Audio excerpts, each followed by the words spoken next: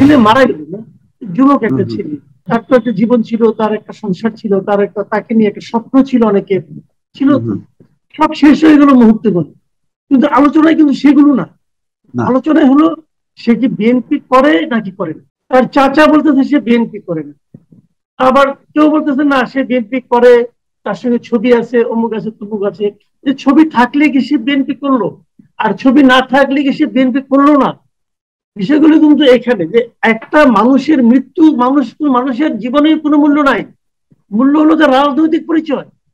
আমরা আমাদের সোসাইটিকে আমাদের চিন্তা ভাবনাকে আমাদের রাজনীতিকে কোথায় নামিয়ে নিয়ে গেছে? রাজনীতির চক্করে পড়ে তার জীবনটা এখন অর্থহীন হয়ে গেল। যে সে যদি আওয়ামী লীগের লোক হয় তাহলে একভাবে এটাকে বিবেচনা করা হবে। যদি সে বিএনপির লোক হয় তাহলে আরেক ধরনের বিবেচনা করা হবে। তাহলে বলে কি আওয়ামী লীগের লোক হলে বেহেস্তে যাবে বিএনপির লোক হলে দোজকে যাবে এটাই কি? আরে মানুষ মারা গেছে তার বিচারটা পরকালে আল্লাহ রেখে দেন না। সে কেন মারা গেল? এটা নিয়ে কিন্তু কোনো আলোচনা নাই। তার মৃত্যুটা যে জাস্টিফাইড হয় নাই এটা নিয়ে কোনো আলোচনা নাই। এবং দেখা হবে কি এই মৃত্যুর জন্য সেই দায়ী। যদি বিএনপির লোক হয় সে প্রমাণ করা যায় তাহলে তার মৃত্যুর জন্য সেই দায়ী। আওয়ামী লীগের লোক হয়ে প্রমাণ করা যায় সে আওয়ামী লীগের লোক তাহলে তার মৃত্যুর জন্য বিএনপি দায়ী। মানে এই হলো গিয়ে আমাদের দেশের এখন আইন কানুন, নীতি, নৈতিকতা এই পর্যায়ে যে পৌঁছে। যে কেন এমন ঘটছে? মাননীয় প্রধানমন্ত্রী কয়েকদিন আগে বললেন যে সবাই যার যার রাজনৈতিক কর্মকাণ্ড চালাতে পারবে। যদি রাজনৈতিক মিছিল করতে হয়, করবে, আন্দোলন করতে হলে করবে, করা যাবে। এই যে ঘটনাটা ঘটলো, এটা কি? সে কি বিএনপির প্রতিষ্ঠা বার্ষিকীতে বিএনপির লোকজন একটা মিছিল করতে পারবে না? মিছিল করলেই সেখানে মারতে হবে? আপনি তো বলবেন, না, অনেক জায়গায় তো মারিনি। অনেক জায়গায় না মারলে কি এক জায়গায় মারাটা জাস্টিফাইড হয়? আপনি কোথাও মারবেন না, তাকে রাজনীতি তো করতে দিবেন। বলে না, ওনারা আন্দোলনের নামে ভাঙচুর করে, কোথায় ভাঙচুরটা করেছে? না, পুলিশ বলবে কি, ভাঙচুর করবে বলে আমাদের কাছে তথ্য ছিল। বলে দিবে। পুলিশ তো রয়ে যেন জ্যোতিষ সবাই এখন। জ্যোতিষ হয়ে গেছে। কে আগামীকাল আপনাকে ধরে বলবে, আপনি আগামী সাত দিন পরে একটা মানে আপনি একটা ভাঙচুর করবেন বলে অথবা আপনি একটা খারাপ মন্তব্য করবেন বলে তার কাছে তথ্য ছিল, অতএব সে আপনাকে ধরে মারতে পারবে। ভাই, এইটা কোনো সভ্য দেশের কথা হতে পারে?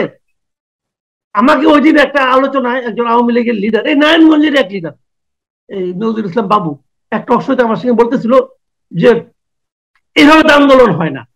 তো আন্দোলনটা কীভাবে হয়? আন্দোলনের অর্থটা কি? আমরা সারা জীবন আন্দোলন করছি, আমাদের ছাত্র জীবনটাই কেটে গেছে এরশাদ বিরোধী আন্দোলন করতে করতে।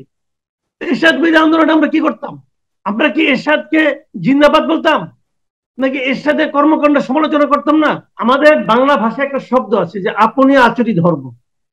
আমরা আমাদের ধর্মে দেখেছি আমাদের মহানবী সাল্লাম, উনিও কিন্তু ওই যে একটা গল্প গল্প সত্য মিথ্যা আমি জানি না। এটা একটা গল্প আছে মিষ্টি খাওয়ার গল্প।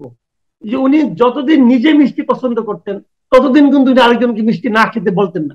আজকে বাংলাদেশে যে কেউ, যে কোনো জায়গায় একটা শিশু যদি হয় উনি যদি আমাদের মাননীয় প্রধানমন্ত্রী কোনো একটা আচরণ নিয়ে, কোনো একটা কথা নিয়ে ওনারা যদি সমালোচনা করেন, তাহলে তার বিরুদ্ধে কিন্তু ডিজিটাল একটা মামলা হয়ে যাবে। হয়ে যাবে নাকি? হয়ে যাবে।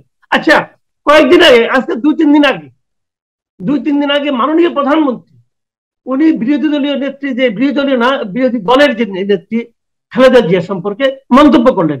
যে কেন তাকে জেলখানায় নেওয়া বলছেন, অনেক দয়া করেছে, আর কি করব না? এগুলো বলেছেন কিন্তু। বলার পরে উনি কি এখানে বলেন নাই যে উনি কীভাবে সেজে গুজে হসপিটালে যান অবস্থা আসেন, বলেছেন তো উনি যদি কথাটা বলতে পারেন এখান থেকে যদি আমরা শিক্ষা নেই, যে এই ধরনের কথা বলা যায়, তাহলে যে কথাটা ওনার সম্পর্কে বলা যায়, সে কথাটা আর কারোর সম্পর্কে বলা যাবে না কেন? আসলে কোনোটা না বললেই ভালো হতো। আমরা আশা করব কেউ কারোর সম্পর্কে অবমাননা কথা কিছু না বলবি। এটি আমরা আশা করি। এই আওয়ামী লীগকে আন্দোলন করে আসে না ক্ষমতায়। আওয়ামী লীগ এবং আন্দোলন যেটা কিন্তু অঙ্গাঙ্গি ভাবে জড়িত। কে সমালোচনা করছে? এটা বিচারের ভার আপনি জনগণের উপর ছেড়ে দেন। সরকারে থাকলে আপনার এক চেহারা সরকারের বাইরে থাকলে আপনার আরেক চেহারা। এটা তো হওয়া উচিত না। মানুষ তো ভুলেনি। হ্যাঁ আপনি পনেরো বছর ধরে একটা সরকারে আছেন। তো পনেরো বছর আগে কি ছিলেন আপনি? তখন আপনি আন্দোলন করেন নাই? তখন আপনি সরকার প্রধানকে কীভাবে বলতেন? মানে কথা বলতেন। আপনার কর্মীরা আপনার সমর্থক আমরা? আমরা তখন মিছিলে কথা বলি নাই বলছি তো।